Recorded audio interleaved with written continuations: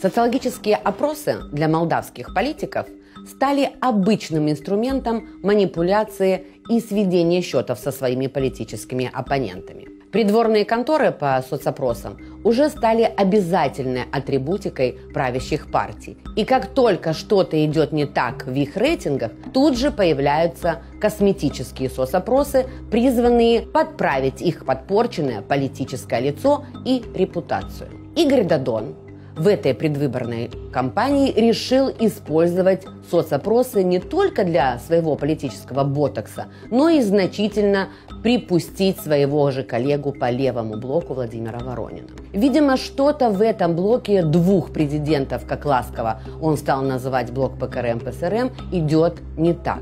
В своем недавнем опубликованном опросе компания iData, известная своей аффилированностью к ПСРМ, владелец этой компании – родной брат депутата-социалиста из ближнего окружения Игоря Дадона. В разделе «Политиков с самым высоким уровнем доверия» дал следующие цифры. Так, согласно представленным данным, главе государства Майи Санду доверяет 31% населения. На втором месте лидер ПСРМ Игорь Дадон пользуется доверием у 23% населения. Далее следует Илан Шор с рейтингом доверия в 4%, Ренат Усатый 3% и Владимир Воронин 2%. Возникает вопрос, почему список блока ПКРМ-ПСРМ возглавляет именно лидер ПКРМ Владимир Воронин с рейтингом в 2%, а не Игорь Дадон с рейтингом, как утверждает Айдата, практически 24%. И почему вся предвыборная кампания блока двух президентов построена на ностальгии по воронинским временам, при которых у Игоря Дадона была должность не второго или даже третьего лица в государстве, а лишь зама Зинаиды Гречанной. Так называемым достижением и политическим победам бывшего президента Игоря Дадона и партии социалистов, о которых он нам вещал из всех экранов телевизоров, даже не нашлось места в этой предвыборной кампании. Молчок я о ряде законов, принятых на ночном конвейере в парламенте большинством ПСРМ ШОР об отмене закона миллиарда, о статусе русского языка, о баснословных пенсиях и зарплатах, предназначенных именно для предвыборной кампании социалистов. Получается, что эти ночные бдения были лишь популистским ходом и никакой прибавки к рейтингу ПСРМ не дали.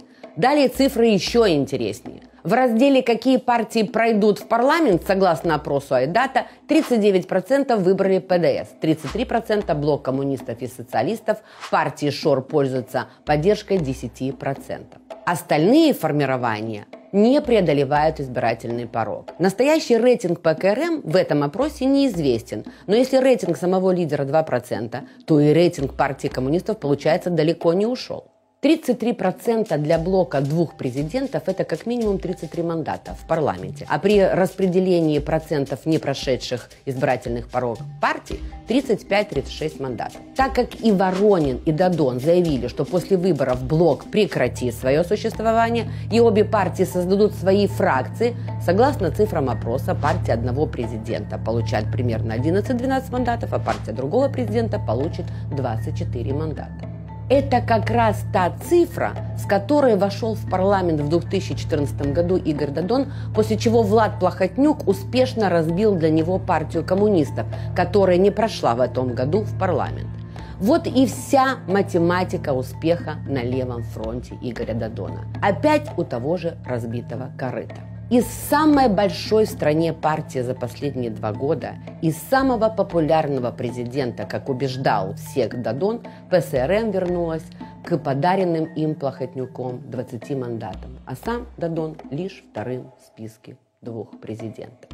Впрочем, и сам блок так называемого спасения страны – не что иное, как циничная чистейшая политическая математика.